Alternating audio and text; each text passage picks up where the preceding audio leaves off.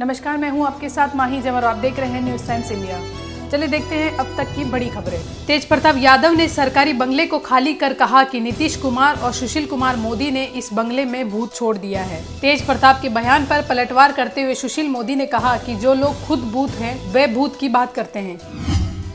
मुख्यमंत्री योगी आदित्यनाथ को आज इलाहाबाद हाईकोर्ट ने बड़ी राहत दी है। हाईकोर्ट ने सीएम योगी के खिलाफ 2007 में गोरखपुर के दंगे को भड़काने के आरोप में मुकदमा चलाने से इनकार कर दिया। जैसा कि भारत और भूटान इस साल 50 वर्षों के राजनयिक संबंधों का जश्न मनाते हैं, विदेश मंत्री सुषमा स्वराज ने बुधवार को कहा कि ये दोनों देशों के बीच संबंधों को आगे बढ़ाने के बारे में प्रतिबिंबित करने का एक बड़ा अवसर है।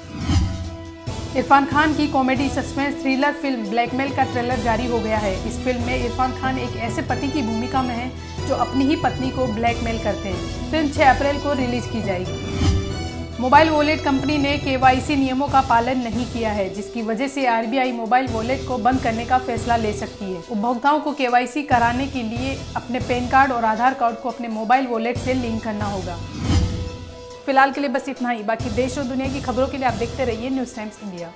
और हमारे यूट्यूब चैनल को लाइक और सब्सक्राइब करना ना भूलिएगा।